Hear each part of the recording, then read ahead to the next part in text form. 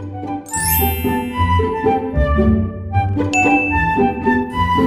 today samahan niyo po ako as a night shift nurse na naman sa aking duty. For the prepare na nga dahil maya maya ay aalis na naman and for the go for the duty. At nag-prepare na nga po ako ng aking lulutuin. Ayan, at tuyo po yung ulam ko ngayon. Yes, it's danggit sa amin kung tawagin. I don't know lang po kung sa Tagalog yun. For the hugas na kasi nag-prepare na nga. At ayan, nagluto na nga po ako. Nag-start na ako. So, napakasarap niya guys at napakalutong niya after mo talagang maluto. So, this is it. Ayan, medyo brownies na siya. Okay na po yan. At ito na nga po ang ating finished product. Napakasarap niya at napakalutong. Ako. Kakagising ko lang. Ayan yung mango na binili ko rin sa market.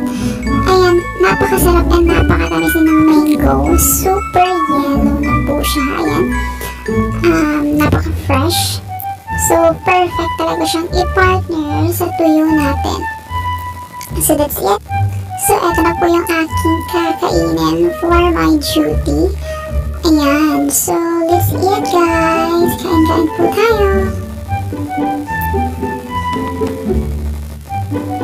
So, ayan yung suka na aking ninakaw from my ka-board mate. Ayan, sa hindi na makita yung video.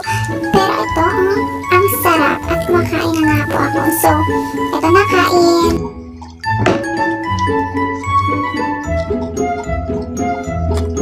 Then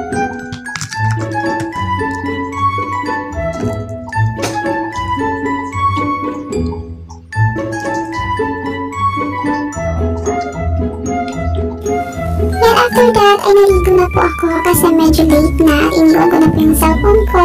Pero wait, babalikan ko siya. After ko nga po maligo, ayan, for the suklay na ako kasi for the go na ulit. Ayan, nagpe-prepare na ako ng aking cell. Mayang konti ay aalis na naman tayo at magna-night duty. So, ayan yung look natin. Ayan, for the lotion lang muna. And for the chika-chika na mga kasama habang wala pang ganap.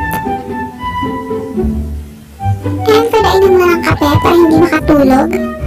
Of course, essential po yan. And for the salamin. At finally, nakarating na nga po ako